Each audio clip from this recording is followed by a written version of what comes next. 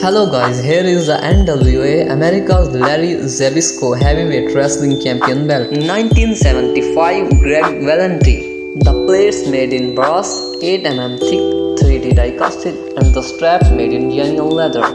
We are manufacturer of all type of championship belts such as wrestling belts, fancy belts, MM belts and other title belts. For more information, please contact us or you may visit our website wcbelts.com.